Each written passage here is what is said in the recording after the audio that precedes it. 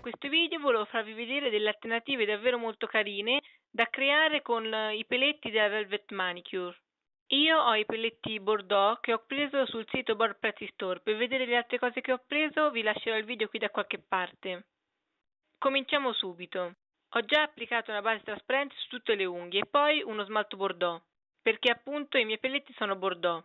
Voi scegliete un colore che sia simile al colore dei vostri peletti mi sembra brutto chiamarli peletti, ma non so come chiamarli, polverina? Vabbè, dopo che lo smalto è completamente asciutto, potete scegliere se utilizzare appunto lo stesso smalto oppure uno smalto trasparente. Io nel mio caso userò appunto uno trasparente. Comincio utilizzando il dotter sul mio dito medio per creare dei puntini. Cerco di crearli tutti della stessa misura e poi immergo il dito nella mia polverina. Presso bene i peletti sopra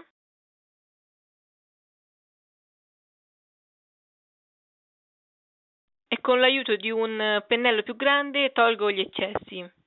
Mettete sotto un foglio o un recipiente per poi poter raccogliere le, gli eccessi che cadono e riutilizzarli. Con lo stesso procedimento creo sul mio mignolo un French e poi applico i peletti. Sul medio creo tutta l'unghia con eh, il velvet. Sull'indice faccio una Mon Manicure e sul pollice creo delle strisce. Sulle unghie dove il velvet raggiunge la fine dell'unghia potete scegliere se applicare un po' di top coat giusto sulla punta per non far togliere subito i peletti. Io nel mio caso lascerò così senza top coat. E questo è il risultato finale, davvero molto semplice e carino e voi potete sbizzarrirvi con la fantasia creando anche delle forme o altre decorazioni. Spero vi sia utile e al prossimo video. Ciao!